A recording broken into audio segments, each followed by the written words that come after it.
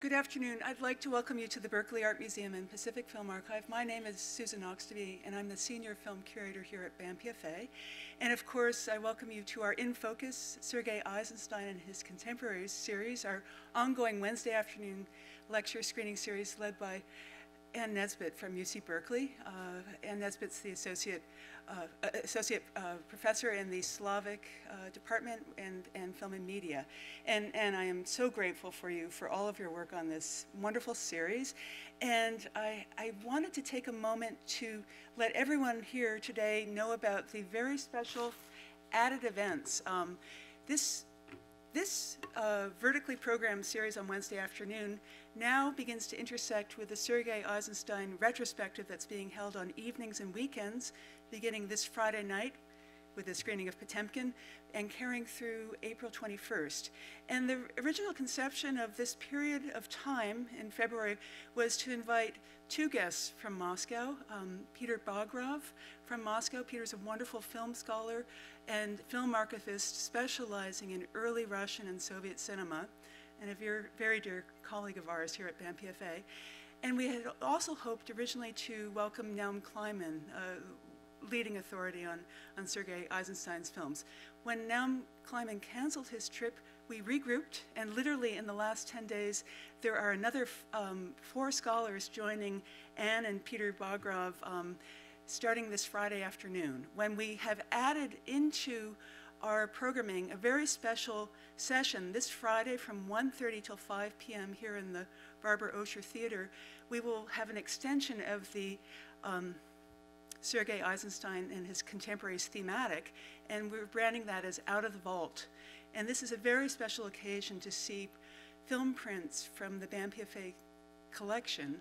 We hold a very uh, interesting collection of Soviet cinema, and it's thanks to the uh, scholarship of, of, individuals like Peter Bagrov and Anne Nesbet that we have selected a number of very rare films from this period uh, that we're looking at in the course. And in addition to their, their presentations on Friday afternoon, they will also be joined by um, Evgeny Bershtein, who's a professor at Reed College in Portland. Um, John MacKay is coming in from Yale University, where he's a professor of Slavic languages and literatures, literature and film. Joan Neuberger, professor in the Department of History at the University of Texas, Austin, is traveling in, and David Sturt, who's at Princeton University and who has, on occasion, done independent research on Eisenstein, will be joining us. I have to say, we're setting this, we never really work this way at BAM-PFA. Normally, I'm meeting print deadlines and asking people to travel in six months out. But uh, this has all come together very quickly. I encourage you to join us Friday afternoon, 1.30 to 5, because it really is a great chance to uh, learn about our very specialized archival holdings here in Berkeley, but also to hear from some wonderful experts. And as well, all of our guests will be involved with the presentations that have always been scheduled this weekend, which are three major works by Eisenstein. Friday night at 7, Potemkin, uh, Saturday afternoon at 4.30, Alexander Nevsky, and then Sunday, Ivan the Terrible Parts 1 and 2 as two separate um, ticketed presentations as well as the addendum or the little uh, extra material that relates to uh, part three of the unfinished Ivan the Terrible. So I think I've covered everything except to say that this time next week, uh, Wednesday, February 14, Peter will still be in town, and there will be some additions to how he and how Anne and he can um, expand a little bit more around uh, the new Babylon presentation that's for next week. And again, a huge thanks to both of you, and um, I'm going to pass the mic over to Anne Nesbet. Oh, I'm sorry, that's right. That's true. I wanted to welcome Peter Bagrov uh, up to say a quick hello. Peter literally flew in and arrived last night from Moscow, uh, quite a major temperature differential uh, for him. And he's somebody who has helped so many people in our field of both scholarship and archival practice for cinema. Um, when I've been in Moscow a couple of times, Peter has dropped everything and helped me look at rare prints at Fund of Russia, where he, for until quite recently, for a four-year period, was the senior curator of Fund of Russia's collection. He is currently holding a very important position as vice president of the International Federation of Film Archives, and over his career, he's also been a, a teacher and writer on cinema. Peter Bagrov.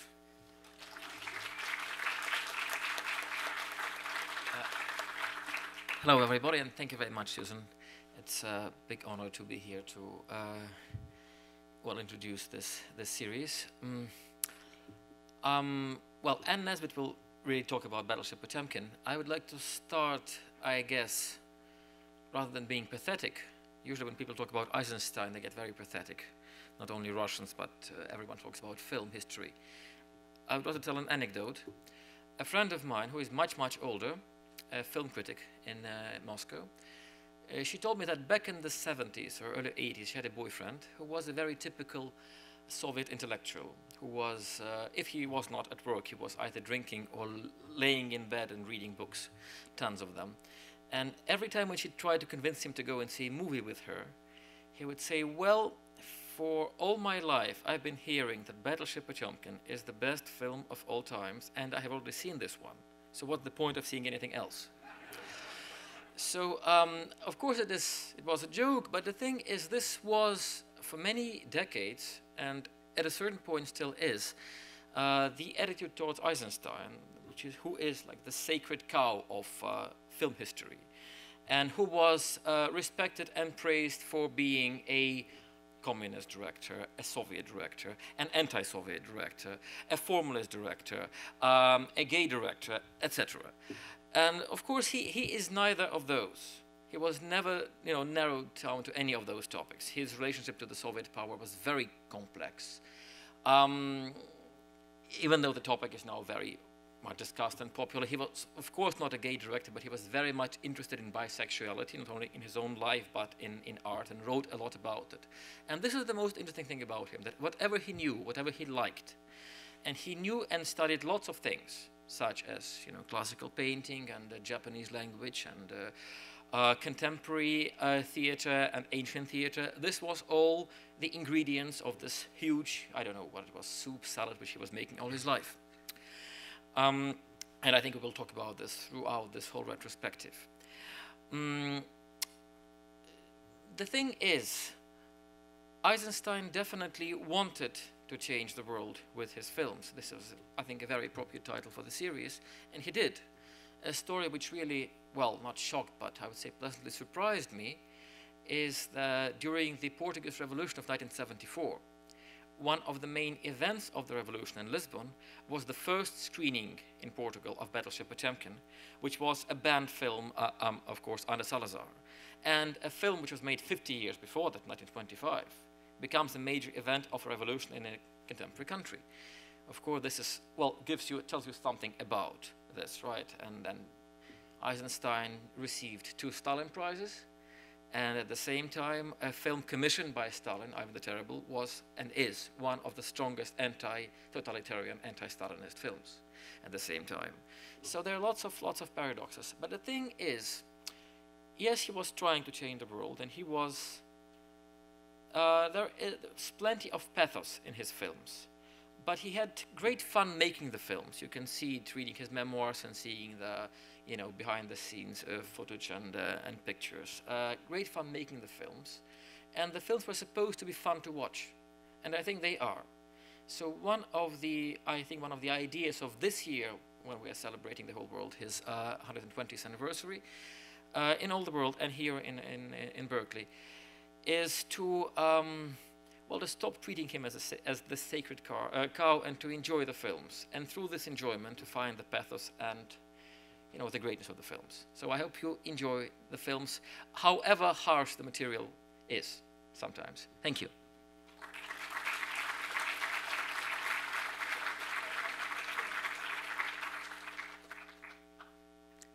And I neglected to say two things. That Friday afternoon's 1.30 session is ticketed just as this series is, so you can, the, there is an event page on our website now, and, and you can find ticket availability that way.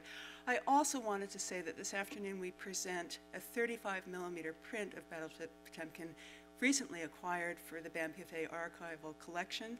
And I know a couple of the individual donors are here this afternoon, and I just, it, it took five uh, contributions for us to um, cover the costs associated with this complex acquisition of a 35 millimeter print and its subtitling. I just wanted to say a very special thank you to those members.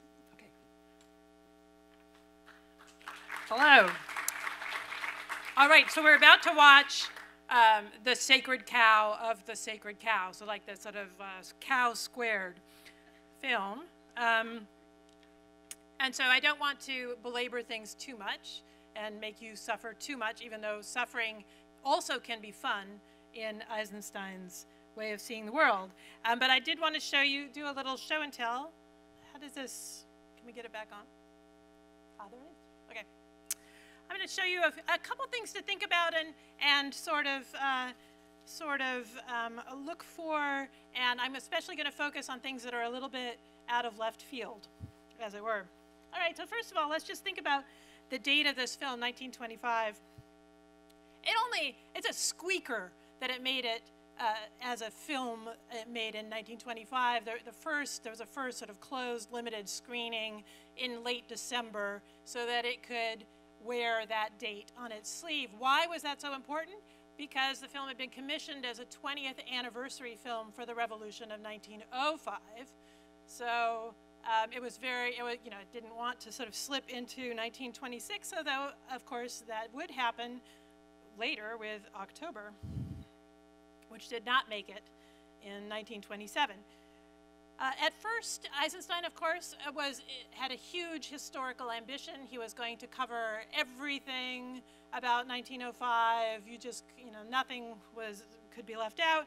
Um, but eventually, uh, he had to whittle it down to one, one focal incident, the mutiny on board a battleship that doesn't entirely end well, actually, which is a sort of theme in a lot of um, Eisenstein's earlier films.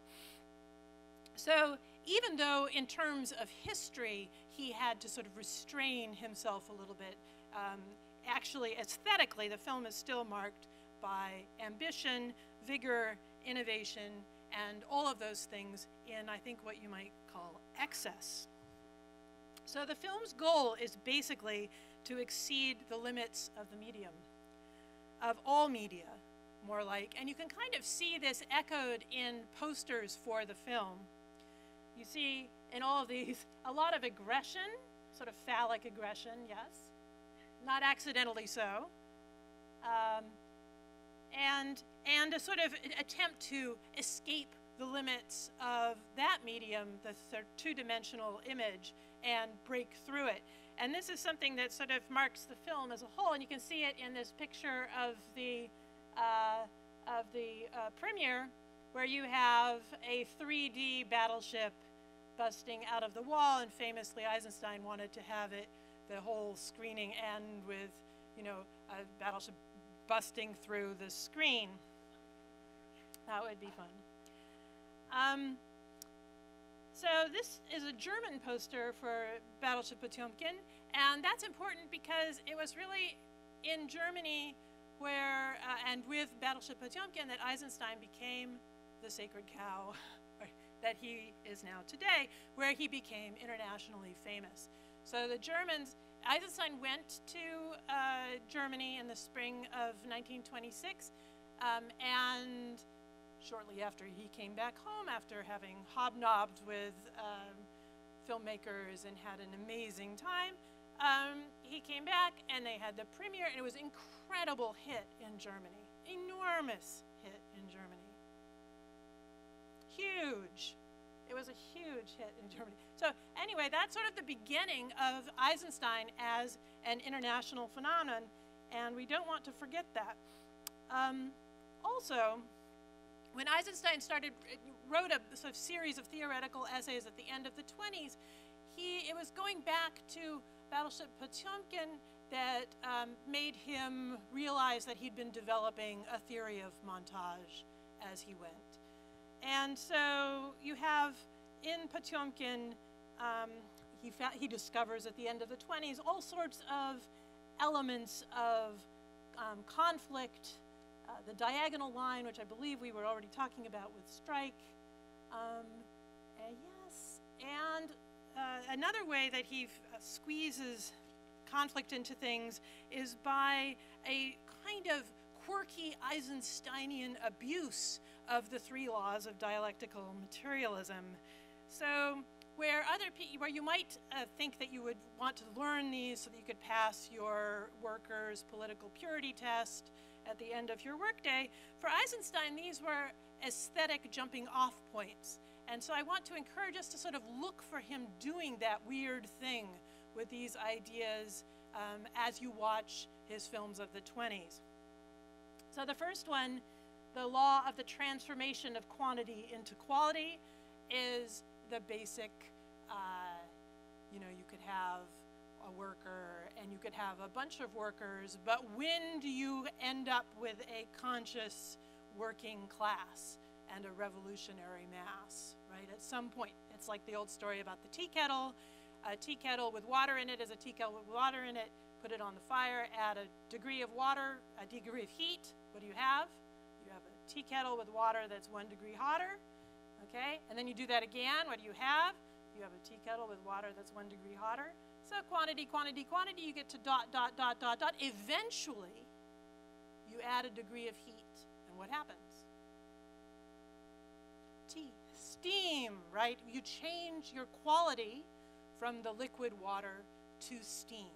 And so that moment where suddenly uh, quantity shifts into another mode is something that Eisenstein's really interested in and feels is key to montage, and we'll see moments like that in our film today. Uh, then you have the unity of opposites, which holds that the unity of concrete reality is a unity of opposites or contradictions. We know that because we are all filled with contradictions inside, even though we look so calm and uh, unconflicted on the outside, perhaps. So Eisenstein's point is that when he uses this, he uses this as backup for his claim that even within a single frame, you could find all sorts of conflict at work. You didn't even need a bunch of shots put together in order to have the energy that conflict um, provides. So you'll see that as well. And then we have the negation of the negation, um, and there's a lot of that going on as well in all of these films. Um, yes. And he looked back and he borrowed examples from Potemkin to talk about the work of conflict in montage and conflict within a frame. And these are rather interesting. So these are moments from today's film. And you can see, so on the first one, he kind of blithely calls it graphic conflict. And by that, he doesn't mean ex exceedingly bloody and horrible. He means uh, conflict of lines. So here you see this sort of uh, diagonal lines creating tension. And the other, the one next to it, he says, well, that's an example of conflict of planes. But we can see, right, that there's all sorts of different kinds of conflict in these images that go way beyond um, something like the use of diagonal lines. If you just look at that first one, what you see is a, you see a child, a squishy body of a child against the unforgiving, stripy, diagonal, hard lines of the steps. Uh, so you have a contrast in textures. You have a contrast in vulnerabilities. You have another contrast because the child's head is facing down, downhill. And when we see that, we automatically feel conflict and, and become anxious because usually if your head is uh, hanging downhill, that means that you might not be conscious anymore. Bad things might have happened to you. So uh, there are many, many, if you start brainstorming here on how many different kinds of conflict are in this one image, you find that you just never stop, right? So, and this was typical for Eisenstein that everything he did was always excessively loaded up with meaning, with illusions, um, with types of conflict, if you want. Um, it was always a kind of excess that he looked for. What's more, you'll notice that both of these feature the steps. And there's a nice moment where uh, Eisenstein talks about the inspiration for the Odessa steps scene. He says, The anecdote about the idea for this scene being born as I watched the bouncing from step to step of the cherry pits I spat out while standing at the top beneath the Duc de Richelieu's monument is, of course, a myth. Uh, very colorful, but a downright myth. It was the very movement of the steps that gave birth to the idea of the scene. And it would seem that the panicky rush of the crowd is no more than a materialization of those first feelings on seeing this staircase. I think that's quite interesting because um, it suggests that steps themselves contain a, an interesting dialectical tension between stillness and motion. That there's already movement at work in the steps even before you throw your dying child uh, at them at a nice diagonal. So he already mentions myth in here, and now this is, you know, he wrote this later, and so the myth is, is already part of his myth uh, as a sacred cow. But um, if we jump off from the theme of myth, we will find myth deployed in Battleship Potemkin in a number of interesting ways and different points. So, for instance, the famous baby carriage scene starts with close ups of the woman grabbing her abdomen, where she has this interesting looking belt buckle with a swan on it. Well, I think that's an allusion to Leda and the Swan, actually. Because what you have here is a moment where a violent action and a, and a violent thing that is at once a kind of childbirth scene and a rape scene because she has a sort of sexualized agony um, as she's shot, uh, causes history to go tumbling, tumbling, bumbling, bumbling down the steps. So there's history for you, looking a little uh, surprised. And that helps us see the myth at work in another odd image that comes after the title, and suddenly. So keep your eyes open for that, because what you see after that is this, which is an odd, it's at, you can see it's sort of isolated from context, right? You don't see a background there. What is this thing? Well, uh, I suggest that it's a little shout out to another mythological star, Medusa, here seen in Caravaggio's version. Medusa, of course, was the Gorgon that was so terrifying that when you looked at her, what happened to you? You turn to stone, right? And in order to attack Medusa and defeat her, um, what you have to do, if you're Perseus, or Frederick the Great dressed up as Perseus, what you have to do is you have to look in a mirror. You have to look only uh, obliquely at Medusa, indirectly at Medusa, as, as you pull your sword to decapitate her. So that helps us understand a little bit about some of the things thrown into this staircase sequence, something to take a look for. Uh, for one thing, in an early script, Eisenstein describes what happens to this woman as she's turned into a statue. There's actually an entire statuary theme going on here. Uh, and it also helps us understand this guy who shows up a couple of times. What is he doing? He's looking directly at the horror, forgetting to use his mirror. Right? And so he's going to be, you know, so once you do that, you open yourself up um, to vulnerability. Why did Eisenstein like this theme so much? Because, and here you see another early artistic rendition of this because Medusa is very nicely weaponized. And that's how Eisenstein wanted his art to work. Why is the head of Medusa such a great model for art objects, for effective art objects? Because it contains its audience reaction within itself. If you see it, you do have a certain kind of reaction. And this was something that was always a problem for Eisenstein. He wanted his films to be incredibly effective, but then there were always those disappoint, disappointing moments where you take the slaughterhouse scene at the end of Strike and you show it to actual workers and they snicker because they're thinking about cutlets and don't quite get it, right? So Medusa is a nice way to think of an art object that you look at and it really gets you. you have a certain reaction. So, the Medusa theme also introduces a general uh, motif in this film, which is a tension between stillness and motion. And here we see Battleship Potemkin firing. So it's firing at the general headquarters. It's also, of course, Battleship Potemkin, the film, firing at us, right? Uh, and this uh, creates that moment where cinema minds the paradox uh, that is at the heart of film, which is that still images combined overcome their limits and become something that moves. Right? So we have the famous lions.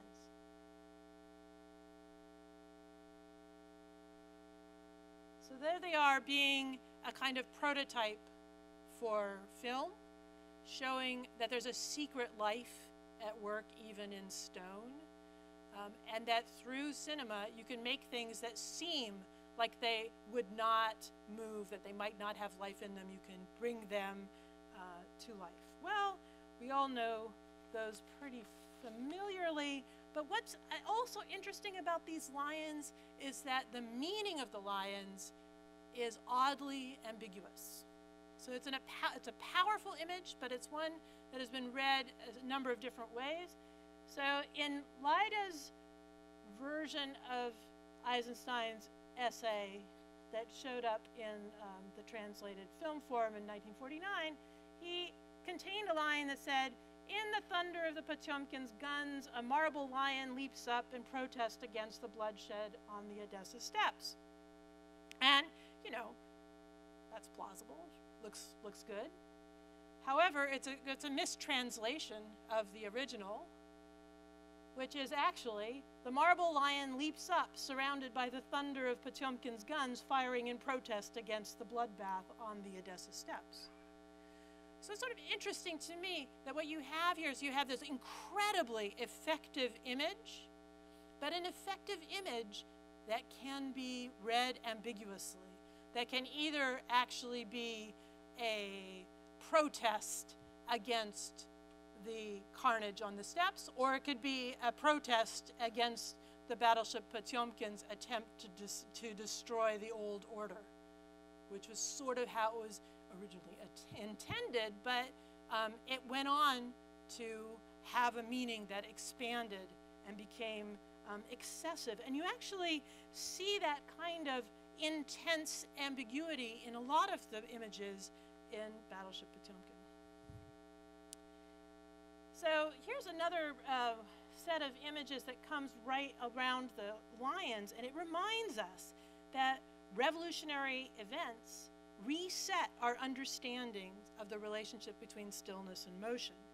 Structures that seemed very still, they seemed eternal, they seemed like they would stand a long, long time, are suddenly, during revolutionary periods, infected with a kind of dynamism that sometimes means also their destruction. So you get this sequence here where the firing guns bring down uh, the gates. And then, less famous than the lions, is another little trio that do the same sort of thing as the lions. So here we go. Here are the cherubs that fling something, and I guess they're mad. I don't know what they're flinging, but it looks almost like an apple or something. I don't know. But that's another uh, secret reaction, a secret moment of motion that cinema can bring out out of something even as still as statues. Okay, so I wanted to just give us a, an update on um, recent versions of these super effective statuary artworks. And so, of course, I turned to Doctor Who and the Weeping Angels. Okay, so the Weeping Angels are these statues that um, only can move when they're not being looked at. When you look at them, you have a kind of Medusan uh, effect on them, and they are statuary, but if you blink, then they come and kill you. And I love this little sequence here because there you see. So this is even in a video, of the statues, they suddenly exhibit this unsettling and TV ready uh, dramatic effect of being about to kill you. And why is that? Because they're an incredibly effective artwork. The claim from Doctor Who is that which holds the image of an angel becomes itself an angel. And that is really an echo back to Eisenstein and his hopes for art, that it would become, so even the image of the weeping angel would become the weeping angel, the image of the Medusa would become something that would have a revolutionary effect on the viewer. All right, here's something else to look for long lines. So these will return, of course, when we get to Ivan the Terrible. But um, I love this moment because it's an echo, in a way, of current events. Here, a photo from 1959. Okay, so it's not exactly the right time, but let's just remember fondly um, the Dziga Vertov's Leninist Kino Pravda number 21 that we saw together a few weeks ago. So here's a line waiting to get into the Lenin Mausoleum for 1959, and here is Eloise in Moscow, a classic in world literature, also from 1959, depicting that same lineup to get into the Lenin and still Stalin, because he hasn't quite been removed yet, uh, mausoleum. Here's another picture of that line. That um, makes us see this whole sequence of uh, the dead sailor in um, lying in state on the pier in a slightly different way. It's a kind of echo of Lenin, of the dead Lenin, bringing the masses to life, as Vertov claimed in the Kino Pravda, by organizing them and having them come in a sort of organized way and go around and become more um, revolutionary. And what's especially cool here, of course, is that what we're seeing is the formation of the crowd from the point of view of the dead sailor. So you can see there's there's a he's holding he's got a candle put in his hand. Um, and this is sort of that wished for point of view, the point of view shot from the dead Lenin, uh, but at, at one or so removes. And just as a final little uh, lesson in how ambiguity can come to us in all sorts of weird but powerful ways in Battleship Potemkin and in Eisenstein in general, I have three images here that echo each other, that seem to have different values, right? And yet um, are in some kind of resonance. So this is the picture of the sailors in their little hammocks in the belly of the ship, where they look a lot like grubs, right? Sort of, mm, you know, not yet fully ready for rebellion. Uh, they look very organic. They look actually a little bit like the maggots in the meat, which is a very odd sort of resonance when you think about it, because, of course, in some respects, they're supposed to be the opposites of the maggots and the meat. Okay, and that resonates also with the little boats in which the townspeople come out to the big battleship to give them fresh food so they don't have to have maggots anymore. Um, all of those visual echoes their excess, their, the excess of the visual richness, again create these layers upon layers of ambiguity so that you feel often in watching an Eisenstein film that it's very intense about what it's saying. It's intense about what it's saying. And then when you start digging in to see, well, what is it saying?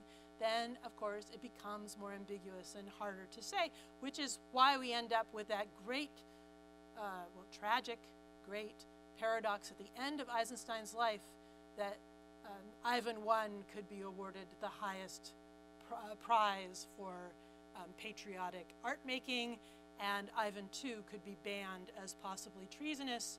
What's the difference between the two films? They both do both. It's how you look at it, what you see, right? They're both intensely, gorgeously, amazing, ambiguous films, and I look forward to watching them all here again with you on Sunday. Okay, so even though we may know Battleship Potemkin very well. It still has the power to surprise us, to devastate us, and to project itself, as one contemporary critic claimed, onto the very screen of our brains and remake our brains. It is a dangerous movie, and I hope you enjoy it. Escalating the danger for us this afternoon will be the courageous Judith Rosenberg on piano, and afterwards, yes.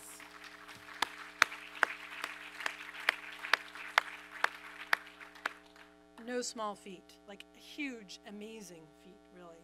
And then afterwards, please stay around and we're going to have another discussion, only this time even cooler than usual and more dialectical because Peter is going to come up, and so Peter Bagrov and I will be up here. Um, so, conflict already programmed into the discussion section. The Pacific Film Archive would like to beg you to wait until you have the microphone in your hand before you ask your question, and I would like to beg you to have lots of questions to ask. All right, enjoy the film, and I'll see you at the other side of the Odessa steps. So, as has been our procedure so far this semester, there's, there are roving microphones. Um, there's one, and there's one over there too. So we encourage you to snag one of those microphones and make some good points and ask some questions.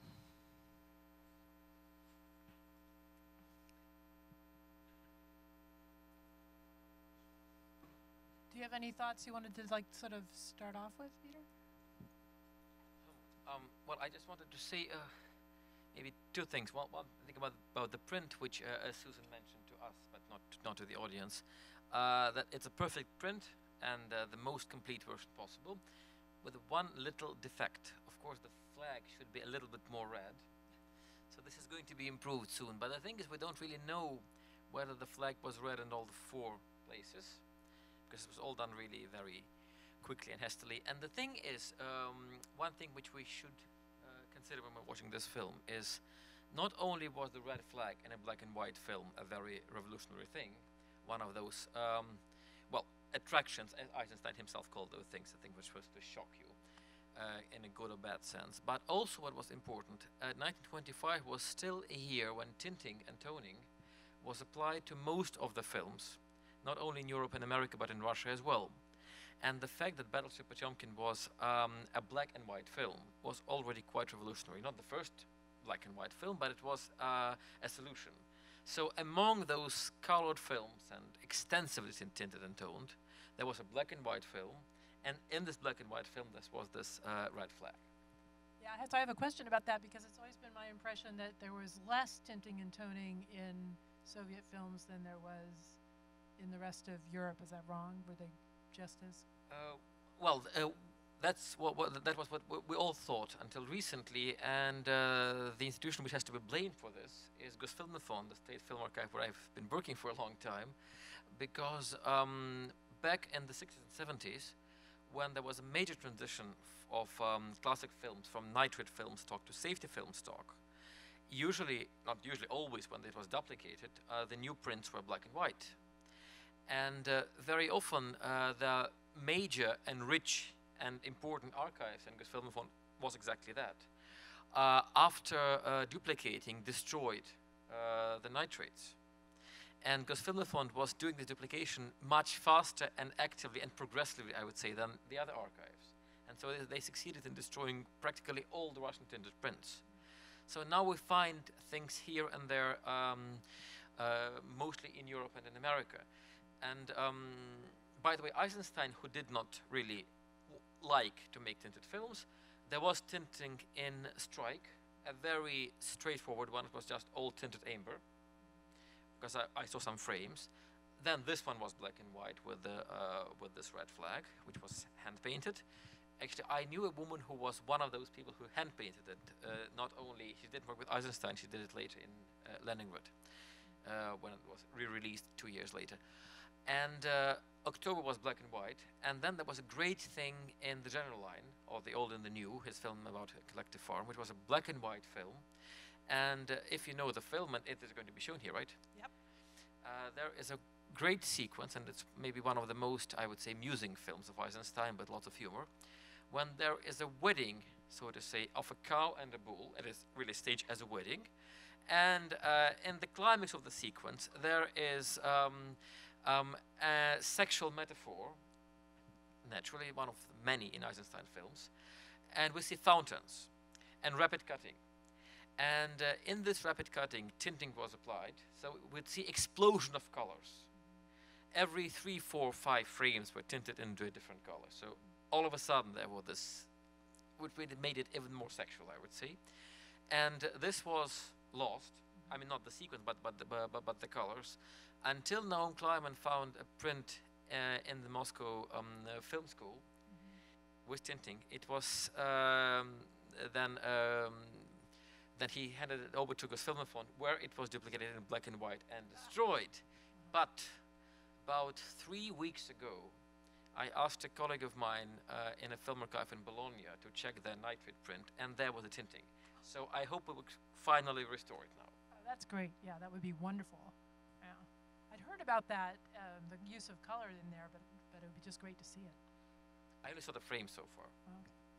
Um, all right. So I think I yeah we saw somebody there. Do you have a microphone? I do, yes. Um, I was wondering if you could, you know, adjust for inflation and c- currency and all that. What what would what was the budget of this if you could put it into modern context? I mean, and what kind of uh, resources did did he have behind him making this this production? I have no idea about the number. I can say just one thing. It's very difficult to talk about the budget of a Soviet film because um, the thing is, not only was it the budget of the film company Goskino, which was of course state funded as everything was in 1925, well, and throughout the whole Soviet uh, history, but um, they had at their service, of course, you know, uh, battleships. This is not battleship Potemkin, another one. Uh, some of the troops, uh, the people of Odessa, many of which were filming for free, not all of them. Well, and of course the actors who, who had been paid. So it's very difficult to really to estimate because there was lots of um, uh, free free labor, as very often was the case in a major production of a Soviet film. I mean, I'm sure there's a number, just that I really don't know it. But it was a big production because this was supposed to be the 20th anniversary film for 1905, so he got a lot of support for it. Uh, and the premiere was at the Bolshoi Theater in Moscow, right, which Yeah. was the most fancy place you can imagine in the whole country. Uh, other questions? Yeah, I was just wondering if you could refresh us a little bit on the history, because I don't know anything about the 1905 revolution. That was a, a failed revolution against the Tsar. It wasn't even a revolution, I guess. Well, I mean, In it- a way. right. So it, it stemmed out of the tensions of the Russo-Japanese War, which um, started with a glow of enthusiastic patriot, patriotic uh, militarism and quickly went really, really, really badly for the Russians. And then um, there were, uh, you know, shortage of food and the, the usual things that go into creating revolutionary circumstances. Um, but this one, uh, you know, in, did not succeed in the sense that the czar remained the czar and so on. Um, however, there were sort of um, symbolic uh, uh, moves towards reform after ni- 1905 that then were quickly taken back. So there was some, there was some like show of having almost sort of a kind of parliament, but then it would be taken back and shut down. So between 1905 and um, World War One, you have a kind of um, you know boiling along of revolutionary sentiment. Great, thank you. And one, one last question. How hard was it for him to assemble all those extras that we saw in the Odessa steps and on the battleship? Well, he had a lot of wranglers with him, so he had um, his guys kind of helping helping to coordinate all those crowds. They were the ones with striped shirts on. Yeah, he had a group of assistants which were called uh, um, uh, the Iron Five. That is uh, Grigory Alexandrov, who was later his official co-director in his later films, and for others who were here in the credits. One of them was great theatrical actor uh, Maxim Strauch, who worked with uh, with Eisenstein later and with Meyerhold, the leading avant-garde theatrical director. So really, they were the ones who handled all that.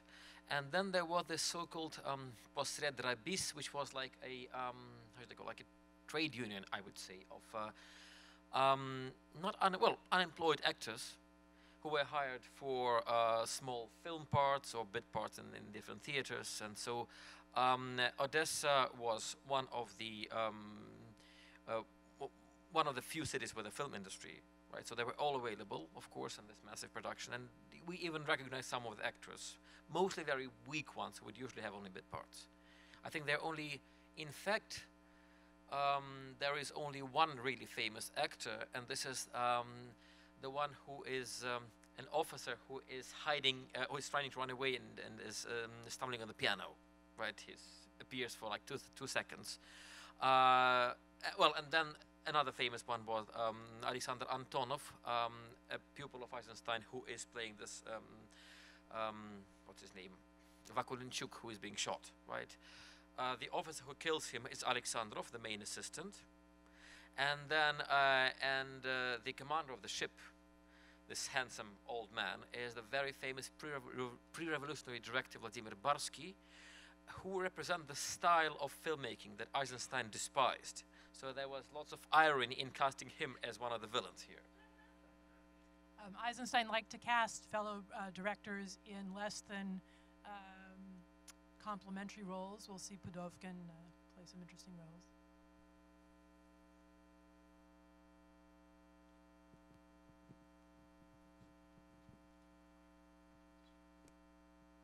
While the microphone's traveling, I forgot to mention that Eisenstein in notes says that the big error that the sailors made in Battleship Potemkin is that it's all about how they did not evolve from marine creatures to land creatures.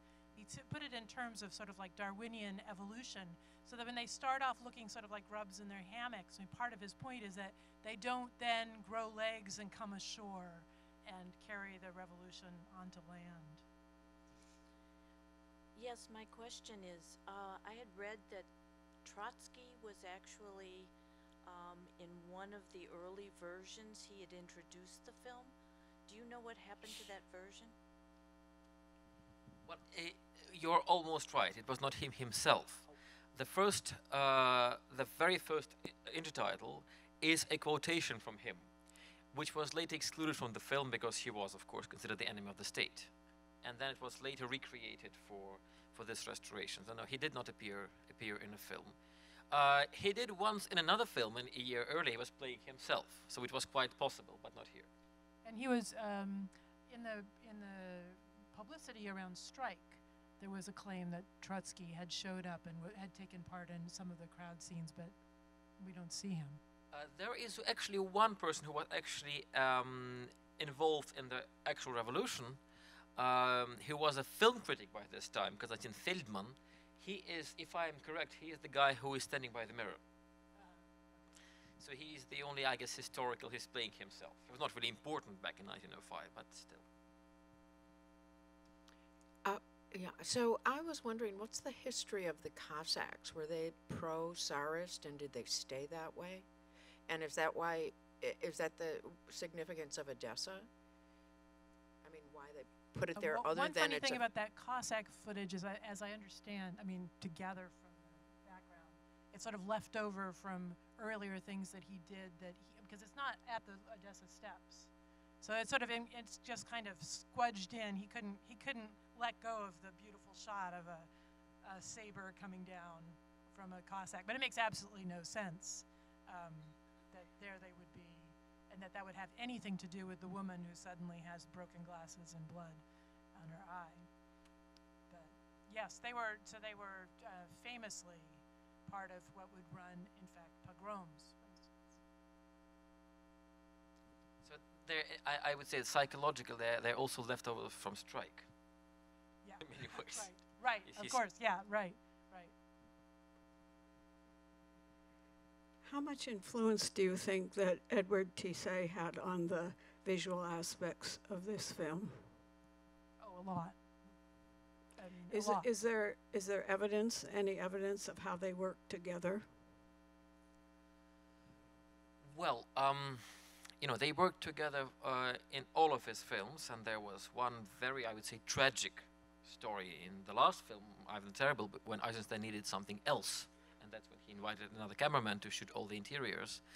but Tissé was a great cameraman for non-fiction, for documentary, for newsreels. And this is exactly what he wanted here. He wanted to have the sense of documentary. So he wanted somebody who would um, he would not plan exactly, you know, um, the shot 100%. Uh, Eisenstein would, of course, rehearse, and then there would be some, I would say, improvisation, which is absolutely obvious when you're having such huge masses. And he needed a cameraman who knew how to film in such circumstances. So I think that, uh, well, I, I think well, we all know that Tissé's uh, um, role was, was crucial.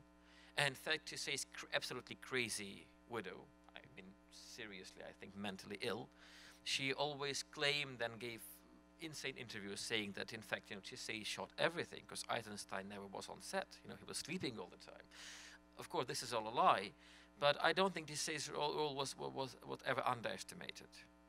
And um, in fact he well we can talk about this later, later during during other screenings but he became more and more sophisticated because um, in fact, this uh, sort of rough documentary style is not what he was limited to, as we can see from the beautiful Mexican footage, which is one of the best things ever shot in film history, uh, and with uh, the lost film Bezhin Meadow, with some great interior scenes as well. But what he needed here is exactly the sense of authenticity, which is what really was striking in the film back in 1925. So, of course, Tissé's role is very And important. Was someone who was always really courageous about trying different things, trying different angles, um, trying different lighting effects, and so on. So you really see that here. And, and Kuleshov writes about Tissé uh, before you know Eisenstein was even thinking about making films out on the you know in the Civil War. Um, also, still already taking risks with his camera. I saw some hands somewhere, but that's all. Yeah. There's some down down here. Uh, I've, I've read a bit about Eisenstein, and maybe I've missed it, but I di- haven't read anywhere that he was an anti-Semite like Ezra Pound. So, what's the context of that Oh, smash well, the Jews? Yeah, so so the the in, in the montage, um, what's happening there is somebody who's clearly from a sort of upper class starts saying beat the Jews, and then all the working class people turn around and stare him down. You know, don't don't do that. Like that's not what we do. But it's very interesting about the classes in this film, and it's one of the things that adds uh, to that sense of like powerful ambiguity that you see here, which is that you have a real mix of classes on the steps. This is sort of Eisenstein's most uh, new economic policy era film. So in the 20s, the economic experiments bringing a little bit of capitalism back in and sort of uh, letting there be kind of more of a range of people all together in, in you know, sort of gestures in that in that direction, although of course it was also attacked from the left immediately. So here you see these crowds that are mixed. There, there are uh, clearly students. There are people that are sort of upper crusty. There are people that are real, you know, that um, are look like they probably are beggars in their day jobs. So there's all this mixture of people, all greeting, basically, except for the guy who wants to beat the Jews, all greeting the um, Potemkin. And then there's this transitional thing that happens. And note that once we get into this and then it becomes scary, what happens is that one of the upper crust ladies' parasols, the white parasol, with a really pointy bayonet like tip, starts coming towards the camera. And I think that, you know, hang on to that image and to that thought because you're going to see more parasols doing really nasty things um, to nice young men uh, in October. Well, and uh, one thing which I could uh, I could add to this is uh, there was one joke which is maybe less of a joke than one can imagine, made by Eisenstein himself, who said when he was approached by somebody that this is such an unconventional film, you know, this is a very typical classical me- melodrama with a triangle where we have uh, you know the the hero, uh, we have him, her, and the villain. So him, that's the battleship. Her, it's the crowd. Well, and the villain, it's this organized mass of uh, officers uh, and soldiers. So this is this, what was one of his, um, well, I would say, theories in a way. Right. And it, right, so for a moment, they're all united on the steps. But again, wait till October, and then all of those um, different subgroups are going to be very much sorted out, and they're going to be coming at each other. But I would say that is the essential thing about this film, if we talk not about the technical things and not about the history of it, but of the, well, I would say the, the philosophy. The word that appears most frequently, three times, but that's quite a lot in the titles, is the word brothers. And he always talked about this, um, well, um, um, the need for brotherness, right? And and and uh, uh, in fact, this is what the film is about, and this is what Strike in many ways is about. Not only about that, and so the, really this is this complete harmony when all the classes unite, which you would never actually see in all of his other films.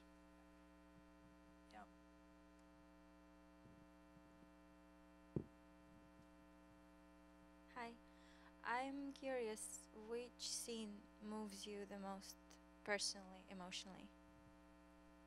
Well, that actually is easy for me to answer and wouldn't have been, you know, like 25 years ago. uh, but for me, um, I am always gotten by when the people stepping on that little child on the steps. When you know that they're, they just these.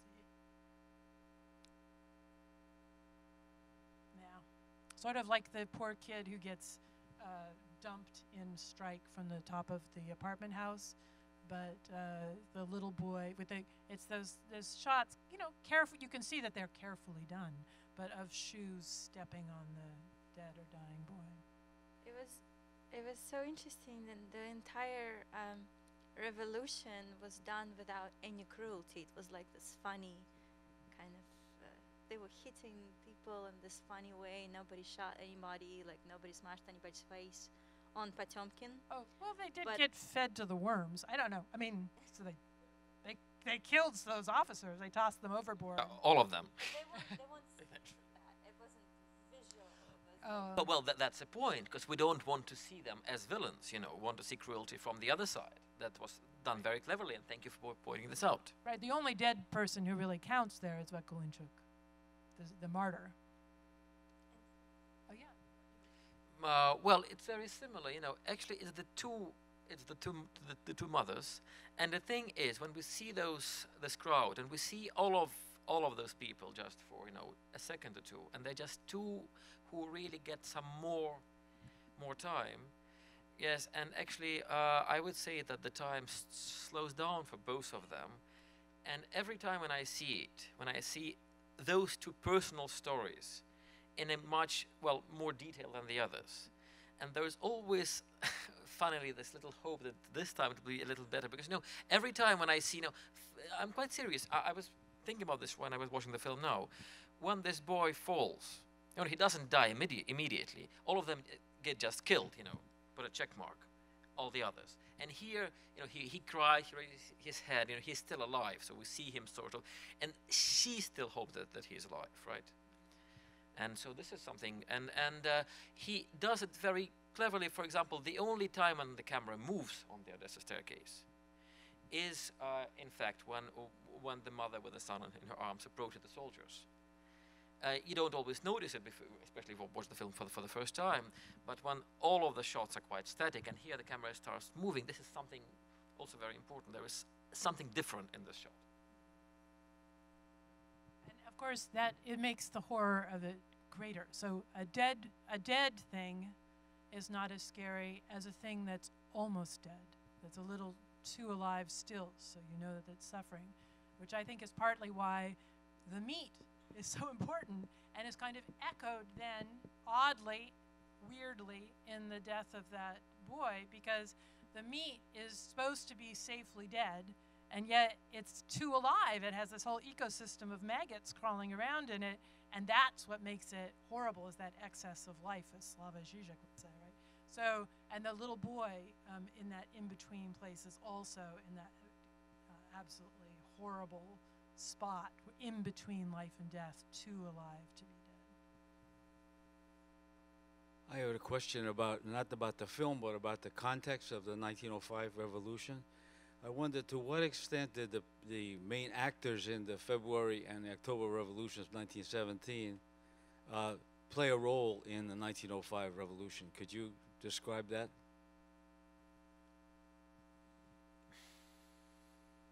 Well, it wasn't, you know, a Bolshevik revolution yet, as the October one was. I, the thing is, uh, the 1917 revolution was an organized thing. Whether the 1905 was rather a set of little revolts here and there, because the main event was not in Odessa; it was in St. Petersburg, on um, uh, uh, the 9th of January, um, when uh, there was well, there were um, more or less peaceful manifestations which were then attacked and, and shot. And there was this famous entry in the diary, in the diary of Nicholas II, uh, saying something like, um, um, "Tensions in the afternoon, uh, a nice evening with tea and tea and ice cream." Right. Um, and so, there, so there, were there was a set of small revolts here and there, revolts. And Eisenstein was, uh, as I mentioned, planning to have a whole series of them shot, and, and this one was uh, supposed to be just, just just one of them. And in fact, there was this sort of a happy ending here, which was his intention in the film, because Strike had this very didn't have a, any, anything like a like a like a catharsis at the end, right? So here there was this something like a happy ending, which was not the real happy ending, because of course. Uh, nothing good could happen to, to to the battleship. They were all, all uh, later arrested. They had to go to Romania. Romania, yes, and and many of them had to, had to flee, and those who stayed in Russia and returned were persecuted later on. And so this is just a very minor victory, and it was important for him to end on this high spot. Yeah, one thing you can uh, see in so when we were talking about strike, so for strike, Eisenstein did sit down with a lot of old Bolsheviks and and revolutionaries to do his research. And for October too. Yeah, that, well, of course, yeah, but that's but we're back to 1905, so the earlier stuff, and and um, he didn't he didn't actually get a lot of terribly useful information from those old revolutionaries, but you did have a sense of the sort of general chaotic quality of the rioting and revolutionary activity in the early days. So I have two questions. Uh, first is a comment before the first question.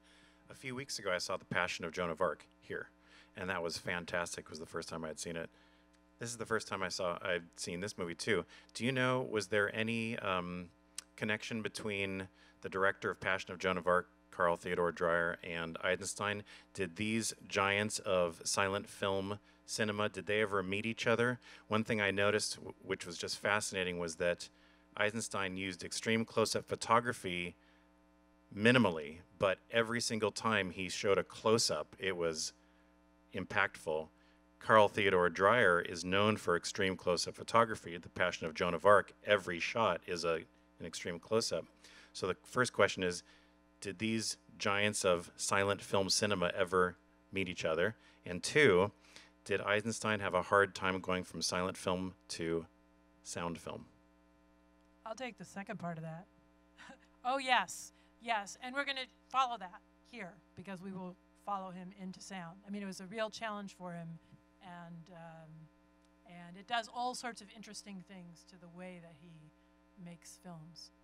What about Dreyer? Well, I don't think they ever met. I never heard or read anything about that. But um, you see, by 1925, well, because uh, um, uh, the Passion of Joan of Arc was made in 1929, four years later, and of course, Dreyer, there was no way he couldn't have seen this film.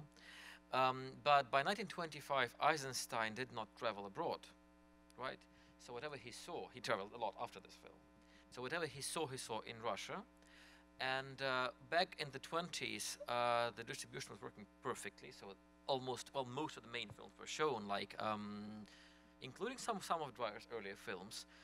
Uh, what uh, a film by which he was definitely influenced strongly, in terms of close-ups, among other things, is of course Dr. Mabuse um, by, by by Fritz Lang, which he did not only see, but which he in fact re-edited for Soviet for the Soviet release, and it was in a way his I would say like manual of filmmaking, because many foreign films were adopted for well, of course, for for, for, for Soviet screens because the uh, content was not very pro-communist, definitely, and they were sometimes very harshly and severely and I would say uh, unmercifully re-edited.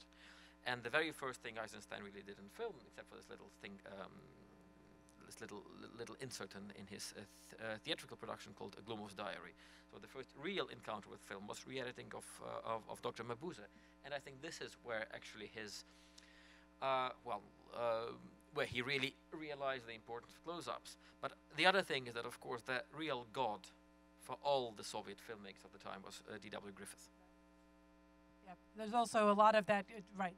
And Intolerance had also a lot of these intense close ups that Eisenstein knew well. Thank you for answering both questions.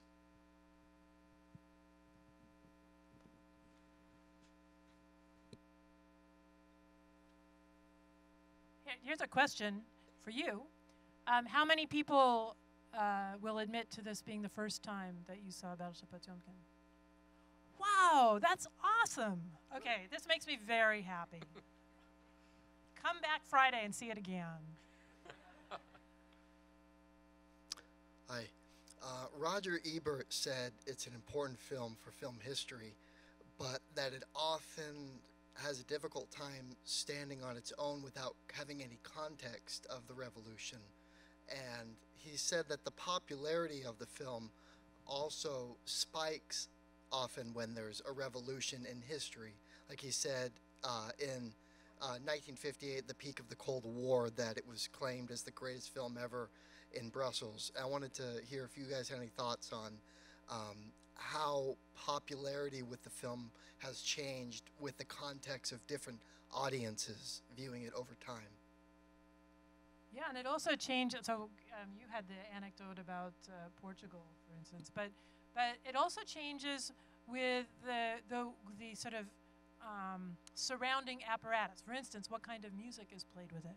The film comes across very differently depending on which score you hear it with, too. I remember hearing it performed with an orchestra performing the Meisel score um, live at University of Chicago, and it was actually a completely different experience than what I'd had before hearing, uh, watching the film.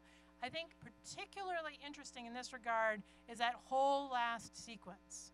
I would say there's no question that the film kind of carries all of us with it through the Odessa steps.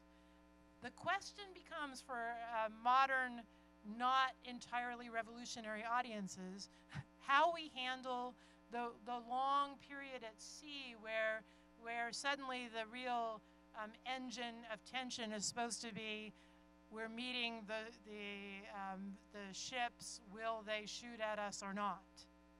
And uh, sometimes that comes off all right, and sometimes that really leaves modern audiences cold. With the, the Meisel score does a kind of pounding, um, like uh, factory aspect, so it emphasizes the sort of machine side of the ship there. I thought that's sort of an interesting effect. It kind of adds a certain level of interest to the images. I think you're absolutely right about the music, because uh, you know, uh, the Meisel score was not performed too often. It was uh, written for for the German premiere, and that was very soon forgotten. Uh, then, God knows how it was, you know, screened in the 30s and 40s, and then there was a Soviet release in 1950, safely after Eisenstein's death, uh, with very conventional, pathetic music by Nikolai Kryukov, whom uh, a nice composer whom Eisenstein despised. Uh, um, so it was a little revenge, I would say, from the th- authorities. Uh, and then in the 76, it was re-released again with a score by Shostakovich, which is always a very, of course, not a, an, an authentic one. It was compiled from his symphonies, which is always a very, very risky thing because when it, you, when you add great, great music, great music, you know, has a life of its own. It doesn't need a film. And this is how I would say the film was watched by everyone for about 40 years. And it is very difficult. Well, even Plus, they stretch printed the images so that they would fit to the Shostakovich. Shostakovich, yeah. Yeah. And uh, and for, for well, even for, for me, it was very difficult now to imagine some of the shots without the music, right? Uh, but the thing I really love today uh, in terms of music, I never really heard the last reel, the last sequence, with such a uh, depressing score, such a tragic one. Because usually, of course, it's a triumphant ending, and really, with uh, as, as as I mentioned at the end, uh, it was supposed to break the screen and and appear here. And and knowing the story of the revolution and knowing the Rus- well, Russian history and the history of the 20th century, in a way, I think that this score made it do some justice, more even more justice to the film historically than Eisenstein intended. And also, as a footnote and bit of advertisement, um, uh, you can. So Shostakovich was sort of a crime, used as a crime against um, Battleship Potemkin when they added random moments. However, of course, Shostakovich made amazing film scores, and we're going to enjoy one of those next week, same place, same time, um, when we watch New Babylon together, the Kozintsev and Trauberg film, for which they had commissioned a score from Shostakovich that he made specifically for those images. And that's a completely different cup of tea.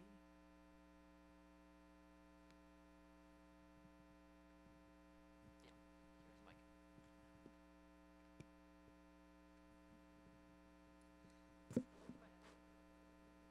Go ahead over there. Excess of politeness. Somebody dive in. There were two, I think, two microphones. Well, um, I just have a comment.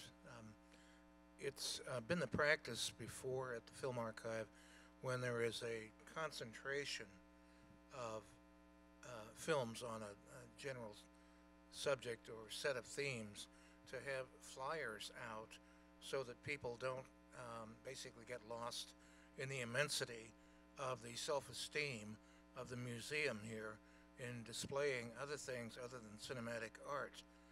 Um, that is a criticism.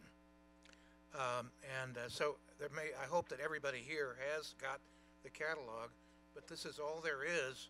You have to sort of fish back and forth to find out what's going on. But there's several, actually, several opportunities to, s- yes, and I have one too, sir. Uh, basically, to uh, see what's going on and what's happened to the uh, the technology of the leaflet to inform people in a focused way. Thank you. That actually harkens also back to strike. Remember the propaganda leaflets fluttering from, yeah, I mean, I'm all for, I'm always all for propaganda leaflets. hmm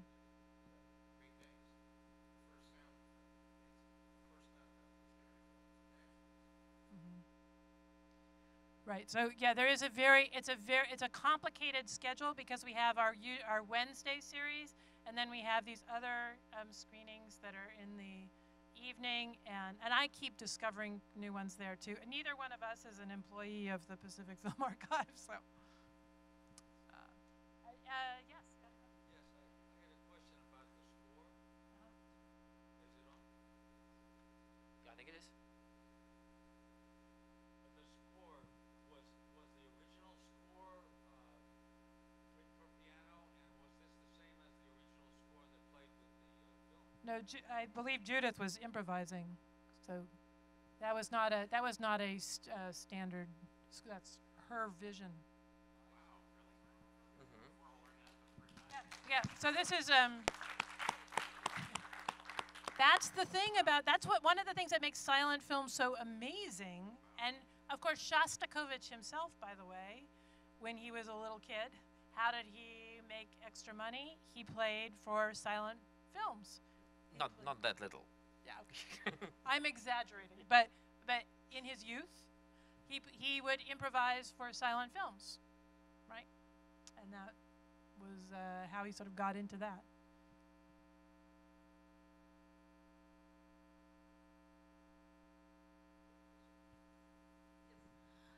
So I was just curious. Um, a lot of like, giants of Soviet art of that era, there's there's this obvious things. It's like, oh, these are good people, and these are bad people, and this is a good thing happening, this is a bad thing happening, and um, like watching these films emotionally now, it just kind of you just feel manipulated in this like very cheap way of just like, oh, come on, and that's why when I asked you this question about earlier about like what is the most impactful scene emotionally, you kind of both like dived in into these things that are like right there on the surface. It's just like this child that's been killed and killed and killed for a prolonged amount of time. But um, I imagine that you both study his work, right?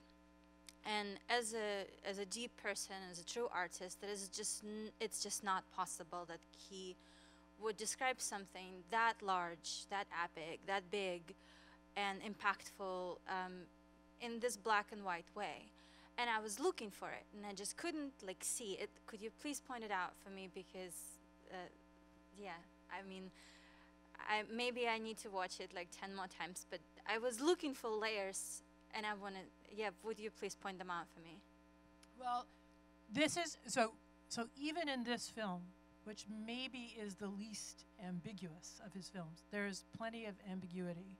I mean, I would say even in things like the way that the rising up of the lions is readable both in the you know in, in more ways than one as against what the battleship is doing or as against what the uh, Tsarist police are doing to the people on the steps. Or in that at the, the example that I said at the end, you know, it's odd that you have these echoes between what the sailors look like in their hammocks, what the little boats look like coming out to the ship, what the maggots look like in the meat. That's a kind of classic Eisenstein thing where you have things that sort of echo each other and yet they're valorized differently. You know, obviously maggots not so good and yet the sailors are also a little bit compared to them as things that are beginning to move in the dead corpse of the czarist system, right? And they're going to um, grow up and, I guess, become big flies. I don't know, but but but there's this, but there are these echoes between these things where you would not necessarily um, think. You know, it's not clear. It's not clearly black and white. And also that example of like the woman with her parasol coming. That that's the sort of first violent thing we see on that step. Almost is this is a parasol from someone who was on the side of the people who were pro Potemkin, but it looks very sharp and scary and it's coming at the camera. So I think there's lots of that, even in Potemkin, which is not his most subtle work. Yes, and I, I can add to this the following. You, know, you asked, the first question was about which sequence or shot moves us, me, emotionally. And I don't think this is the film which really moves me emotionally. This is the film which I enjoy and uh, you know there is lots of uh, irony in this film as it is in many of his other things and one of the topics not only here but i would say in soviet cinema of the 20s and early 30s in general is this um, well just juxtaposition of um, uh, i would say organized forms geometrical forms and chaotic things which of course is what the film is clearly is about. And of course, the organized geometrical forms are beautiful. They're much more attractive, they're much more interesting to watch than the chaotic forms, and they are supposed to represent the evil, which is, I think, very interesting. You know, this great shot when we see this, uh, uh you know, the, the, the, two cannons on the ship, and uh, the black officers on the white, uh, uh on the left and on the right. Then this little white groups on the left and on the right. So this is all perfectly staged and this is very attractive to watch. As are all the women on the um, um, um, on the pier, right? Uh, he works much more carefully, I think, with their costumes than with their with their, with their faces, with with the, with the acting, and uh, and again, uh, this this anti-Semitic character who is, of course, uh, very, I would say, um, impressively, though straightforwardly acting. So this is the, I would say, the, the, the, the attractiveness of evil, the interesting uh, uh, aspects of evil is something which Eisenstein was always good at and which is fascinating here and which becomes more and more complex and reaches its uh, highest point, of course, in Ivan, where it is almost impossible to divide the two. And also, there's even ambiguity in this question of organized geometric forms, because notice that the sailors, when they're taking the body of Vakulinchuk Sure, they're lined up mm-hmm, mm-hmm. beautifully. Yeah, and you say, oh, they are really highly conscious. You know, they're in, they're in order. But what, where else do we see people in uniform in order? And that would be the people marching down the steps, shooting people. So even there, there's a sort of way in which chaos is sometimes marked good, good-ish, sometimes marked bad. Um, and order is also in this film sometimes on the side of revolution and good, and sometimes.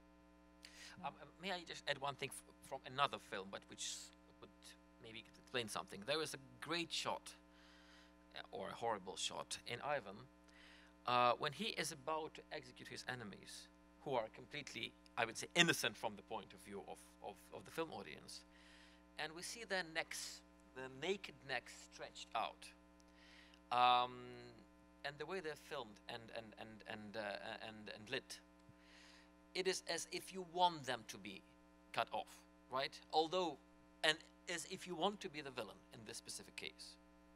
And so this is what uh, what he is slowly going going to, uh, starting starting with with Strike, not even with, uh, with uh, Battleship Potemkin. So maybe one more question? Uh, since we're talking about soundtracks, I wonder if we could go forward a little bit and talk a little bit about how Prokofiev got involved with Eisenstein in uh, the score for Alexander Nevsky. Or is it? Uh, yeah, it's Nevsky. Well, first of all, it was not his first sound film, because before that there was the lost and banned film Bezhin Meadow, which has a great composer, uh, Gavril Popov. Uh, so this was his first experience with, with sound, right? Uh, not the, even the first one, because first uh, he made a little, Alexandrov made a little clip called uh, um, um, Sentimental Romance, which Eisenstein supervised. So he had quite an experience working with sound uh, before Prokofiev. So by the time of Alexander Nevsky, he knew exactly whom he wanted. So he, he wanted a composer who was at the same time pathetic and very nationalist when he wanted to, and on the other side, he really wanted um, Prokofiev's uh, deep sense of irony. Uh, which was very important to show, of, co- of course, the enemies. Well, that's a long story because uh, uh, the great thing about Nevsky is how Prokofiev worked with a sound engineer, which usually the Russian composers, oh, well, other composers in general by, back then did not do. So that is also an- an important thing. Somebody who was very technically advanced and who would be willing not just to write good music for film, but really to understand that film can do things which you cannot really perform um, with a live orchestra. One thing that linked um, Eisenstein and Prokofiev together is they both had met, and you know, they they both had run encountered Walt Disney's work in the United States, and were absolutely blown away by it. And there are a lot of famous quotes of Disney films in Alexander Nevsky and in Ivan the Terrible. But we'll be getting to that in the future.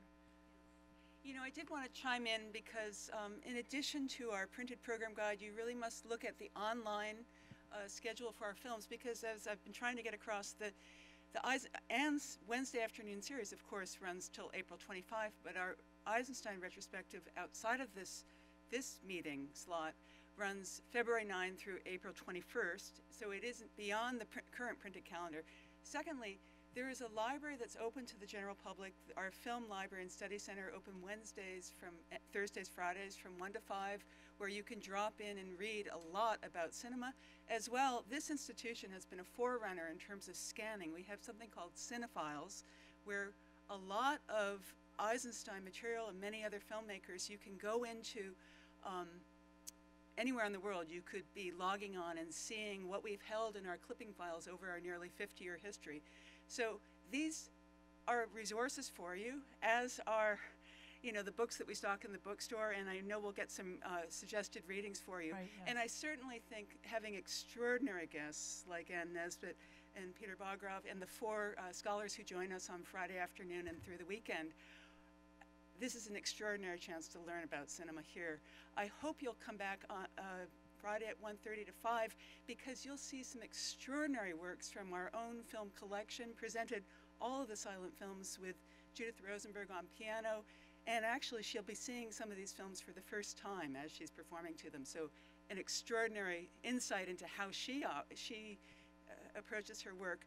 And um, I just think it'll be a joy to have six scholars from this period of cinema gathered together. I thank you both very much. This has been fascinating.